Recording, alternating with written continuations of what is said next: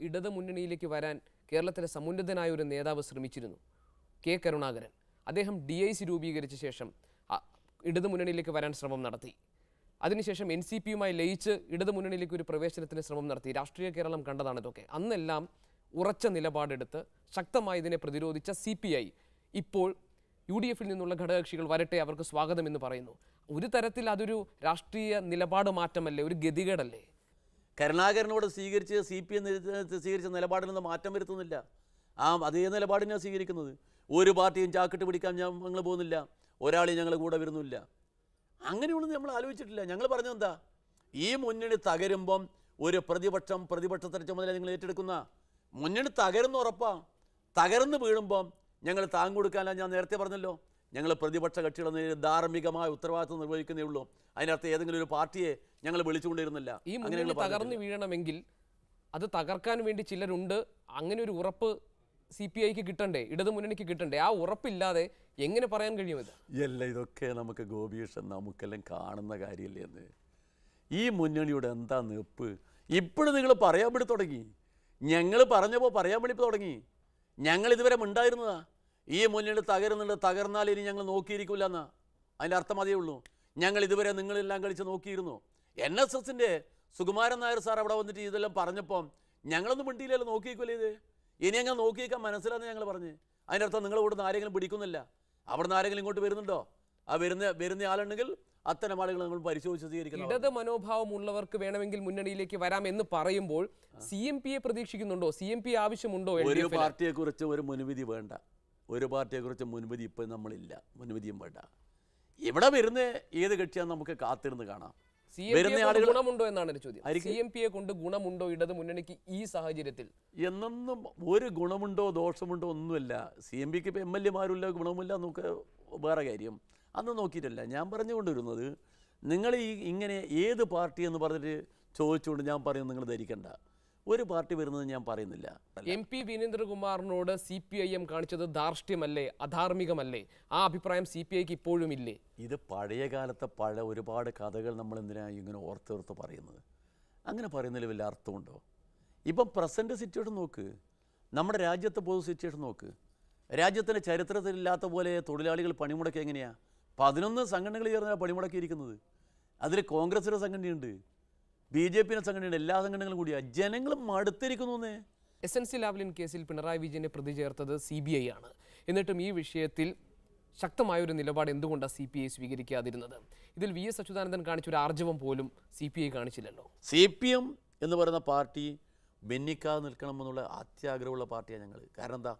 C P എമ്മിൽ ഭിന്നിപ്പുണ്ടായാൽ ലെഫ്റ്റിൽ എന്തെങ്കിലും ഭിന്നിപ്പുണ്ടായാൽ കേരളത്തിൽ ലെഫ്റ്റിന് ഒരു കോട്ടം തട്ടിയാൽ കേരളത്തിൽ വളർന്നു വരാൻ പോകുന്നത് വർഗീയ തീവ്രവാദ പ്രസ്ഥാനങ്ങളാണ് നിങ്ങളിപ്പോൾ അടുത്ത കാലത്ത് കണ്ടല്ലോ കേരളത്തിൽ രണ്ട് കൊലപാതകങ്ങൾ ക്യാമ്പസ് കൊല കൊലപാതകങ്ങളുണ്ടായല്ലോ. ക്യാമ്പസ് ഫ്രണ്ടുകാർ രണ്ട് സ്ഥലത്ത് വെച്ച് എ ബി വി പിക്കാരെ കൊന്ന്. ഇവിടെ വർഗീയ സംഘടനയാണ് നമ്മൾ കോളേജിൽ ഇപ്പം ഭരണം നടത്താൻ വേണ്ടി പോകുന്നത്. നേരത്തെ കോളേജുകളിൽ നിന്നായിരുന്നു സർഗധനരായ ഒരുപാട് എഴുത്തുകാർ സാഹിത്യകാരന്മാർ കലാകാരന്മാർ കവികളെല്ലാം അവിടെ നിന്നായിരുന്നു വന്നത്. ഇപ്പോഴെന്താ കോളേജുകളുടെ സ്ഥിതി? കോളേജിൽ രാഷ്ട്രീയം വേണമെന്ന് പറഞ്ഞ് ഒരുപാട് നടന്ന ആളുകളില്ലേ? അത്തരം ആളുകൾ മാറി ചിന്തിക്കുമോ നമ്മുടെ കോളേജുകൾ അപകടകരമായ വഴിയിലേക്ക് ഇപ്പോൾ പോകുന്നു. ആ പോകാൻ രാഷ്ട്രീയ കൊലപാതകങ്ങളുടെ കണക്ക് സി പി എമ്മും സി പി ഐയും പരസ്പരം പറഞ്ഞ് ഏറ്റുമുട്ടുകയുണ്ടായിട്ടുണ്ടല്ലോ തർക്കമില്ലാതിരിക്കുന്നത്. രണ്ട് പാർട്ടികളായിരിക്കുന്നിടത്ത് തർക്കം തർക്കമുണ്ടാവും. ആ തർക്കങ്ങൾ എന്ന് പറയുന്നത് പരസ്പരം കറക്റ്റ് ചെയ്യാനാ. ആ തർക്കങ്ങൾ എന്ന് പറയുന്നത് സ്ഥായിയായി നിൽക്കുന്ന തർക്കങ്ങളല്ല. അങ്ങനെ ധരിച്ചു പോണ്ട ഇന്ന് ഏറ്റവും അധികം ചർച്ച ചെയ്യപ്പെടുന്ന മുല്ലപ്പെരിയാർ വിഷയം സത്യത്തിൽ ഇത്രയും രൂക്ഷമാക്കിയത് സി പി ഐ അല്ലേ? അതിന് ഉത്തരവാദി സി പി ഐ അല്ലേ പ്രത്യേകിച്ച് അച്യുതമേനോന്റെ ഭരണകാലത്തല്ല അശാസ്ത്രീയമായ രീതിയിൽ ഇതിന്റെ കരാർ ഒപ്പുവെച്ചത്? മുല്ലപ്പെരിയാർ പ്രശ്നത്തിൽ അന്നുണ്ടായത് കാര്യങ്ങളില്ല. ഇത് മുല്ലപ്പെരിയാർ പ്രശ്നം എപ്പോഴാണ് നമ്മളെ മുമ്പിൽ വെക്ക് വരുന്നത്? മുല്ലപ്പെരിയാറിന് അപകട സാധ്യത വന്നപ്പോൾ അതല്ലേ മുമ്പിൽ വരുന്നത്? അപകട സാധ്യത ഉള്ളപ്പോഴല്ലേ? അപ്പോൾ പഴയ കാലത്ത് എങ്ങനെയായിരുന്നു മുല്ലപ്പെരിയാർ? ഇപ്പോൾ ഇപ്പോൾ അപകടത്തിലായിരുന്നു. അതുകൊണ്ടാണ് നിനക്ക് പറഞ്ഞിട്ട് കാര്യമുണ്ടാ. മുല്ലപ്പെരിയാറിന്റെ ഗ്യാരണ്ടി കഴിഞ്ഞിരിക്കുന്നു എന്നുള്ള വിഷയം. അതായത് പിന്നെ ശാസ്ത്രജ്ഞന്മാർ പറയുന്നത് മുല്ലപ്പെരിയാർ ഇത്ര വർഷത്തേക്ക് അതിന്റെ ഗ്യാരണ്ടി കഴിഞ്ഞിരിക്കുന്നതാണ് അവിടെയാ തർക്കം. ആ തർക്കത്തിൽ കേരളത്തിലെ ഇടതുപക്ഷ ജനാധിപത്യ ഗവൺമെന്റ് ശക്തമായ നിലപാടെടുക്കുകയും സുപ്രീം കോടതിയിൽ പോയി കേസ് വാച്ച് രക്ഷപ്പെടുകയും ചെയ്തു. ഇപ്പം എന്താ കാര്യം? മുല്ലപ്പെരിയാറിന്റെ കാര്യത്തിൽ ഇപ്പം എന്താ? എന്തൊക്കെ ഇവിടെ നടന്ന കാര്യങ്ങൾ നമുക്കെല്ലാം അറിയില്ലേ നമ്മൾ ഈ നാട്ടിലെ ഗവൺമെന്റ് എന്താ? ഗവൺമെന്റ് ജോലി എന്തായിരുന്നു? മിക്കവാറും ഇവർ ഒരു നോക്കുകുത്തിയുടെ മട്ടിലാണ് ഇപ്പോൾ പല കാര്യങ്ങളും തീരുമാനിക്കുന്നത്. ഇടയ്ക്ക് എന്റെ നാട്ടിൽ പറയും മാലി നാദാപുരം പോയ പോലെ ഒന്ന് ആലി നാദാപുരം പോയ പോലെ ഡൽഹി പോയിട്ട് വരും. താങ്കൾ സി പി ഐ സെക്രട്ടറി ആയിരിക്കുമ്പോഴാണ് തൊഴിൽ അല്ലെങ്കിൽ ജയിൽ എന്ന ക്യാമ്പയിനുമായി A I F A Y F രംഗത്ത് വരുന്നത്. ഇന്ന് എ വൈ എഫിന്റെ പ്രവർത്തനം എങ്ങനെയാണ്? എ വൈ എഫ് കുറച്ചുകൂടി നന്നായി പ്രവർത്തിച്ചുകൊണ്ടിരിക്കുക കുറച്ചുകൂടി മുമ്പോട്ട് വരിക. ഉണ്ടോ? പിന്നെ അവർ മുമ്പോട്ട് വരാമെന്ന് അവർ വലിയ ക്യാമ്പയിൻ എടുക്കൊണ്ട് എടുക്കാന്ന് കോഴിക്കോട് വെച്ച് സംസ്ഥാന സമ്മേളനം നടക്കുന്നു. എ വൈ എഫ് ഒക്കെ മുമ്പോട്ട് വരും. വളരെ നന്നായി മുമ്പോട്ട് വരും. മുഖ്യമന്ത്രി മുസ്ലിം ലീഗിന്റെ പിടിയിലാണ് എന്ന ഒരു വിമർശനവും നിരീക്ഷണവും ഉണ്ടായിരുന്നു. ലീഗ് പറഞ്ഞതല്ലേ ഇപ്പോൾ ചെയ്തിരിക്കുന്നത്? നമുക്ക് എല്ലാവർക്കും പച്ചയായിട്ട് അറിയാവുന്ന കാര്യമല്ലേ? മുസ്ലിം ലീഗ് പറഞ്ഞതല്ലേ ചെയ്തിരിക്കുന്ന അഞ്ച് മന്ത്രിമാർ കെ പി സി സി തീരുമാനിച്ച് അഞ്ചാമത്തെ മന്ത്രിയെ കുറിച്ച് തീരുമാനിച്ചില്ലല്ലോ? എന്തിനാ അഞ്ച് മന്ത്രിമാരെ തീരുമാനിച്ചിരിക്കുന്നത്? അതിലെ കേരളത്തിലുണ്ടായിരുന്ന സാമുദായിക പിന്നെ സന്തുലിതാവസ്ഥക്ക് തകർ തകർച്ചയ്ക്ക് കാരണം അതല്ലേ? അല്ലെ സമുദായ ശക്തികൾ കയറി വന്നത്? കേരളത്തിൽ അഞ്ച് മന്ത്രിമാരെ കൊടുത്ത് നമുക്കിപ്പോൾ ഏത് സമുദായക്കാരൻ മന്ത്രിയായാലോ ഏത് പാർട്ടിക്കാരൻ മന്ത്രിയായാലും നമുക്കൊരു അഭിപ്രായ വ്യത്യാസമില്ല അഭിപ്രായമില്ല നിങ്ങൾ വേണ്ടുന്ന കൂടെ തീരുമാനിച്ചോ? പക്ഷേ എല്ലാ കാര്യവും ഉണ്ടാക്കുന്നത് നിങ്ങളല്ലേ.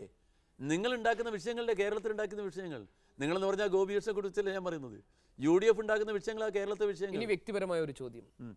വി എസ് ആണോ പിണറായി ആണോ? ആരോടാണ് കൂടുതൽ ആഭിമുഖ്യം? രണ്ടുപേരോട് ഒരേ സ്നേഹമുണ്ട്. രണ്ടുപേരും കമ്മ്യൂണിസ്റ്റുകാരാ. രണ്ടുപേരും ഒരുപാട് സ്നേഹിക്കുന്നു ഒരുപോലെ ബഹുമാനിക്കുന്നു. രണ്ടുപേരും യഥാർത്ഥ കമ്മ്യൂണിസ്റ്റുകളാണ്. തീർച്ചയായും രണ്ടുപേരും കമ്മ്യൂണിസ്റ്റ് പാർട്ടിയിലെ യഥാർത്ഥ നേതാക്കന്മാരാ. സി പി എമ്മിലെ യഥാർത്ഥ നേതാക്കന്മാർ രണ്ടുപേരും ആ രണ്ടുപേരോടും നല്ല ബഹുമാനമുണ്ട്. ബി എസ് എമ്മിനെ കുറേ കൂടി സീനിയറാണ്. അതുകൊണ്ട് ബി എസിനോട് ആ രീതിയിലുള്ള ബഹുമാനം വേറെയുണ്ട്. എഴുത്ത് ഏതുവരെയായി എഴുത്ത് നടന്നുകൊണ്ടിരിക്കുന്നുണ്ട്. ഇതൊക്കെയാണ് പുതിയ പുസ്തകം.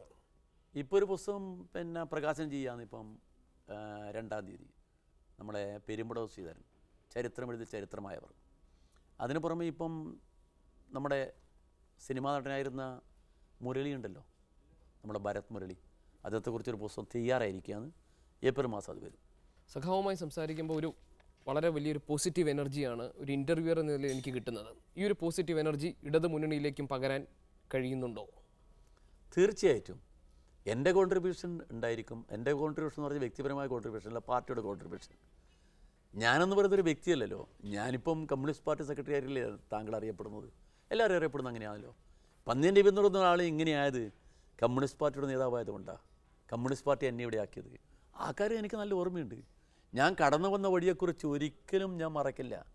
ആ ഓർമ്മയിലെ ഞാൻ വന്നത്. ഞാൻ സാധാരണ പ്രവർത്തകനായിട്ട് വന്നതാണ് അതുകൊണ്ട് എനിക്ക് ആ എനർജി എന്ന് പറയുന്നത് പ്രസ്ഥാനത്തുള്ള എനർജി എനർജിയാണ്. അത് ഗോപികൃഷ്ണന് വല്ല എനർജി കൊണ്ട് വല്ല ഗുണവും തോന്നിയിട്ടുണ്ടെങ്കിൽ അതൊരു വലിയ കാര്യം. എന്റെ ഭാഗ്യം എന്നല്ല ഞാനെന്ന് പറയാനതിന് വളരെയധികം സന്തോഷം. Thank you.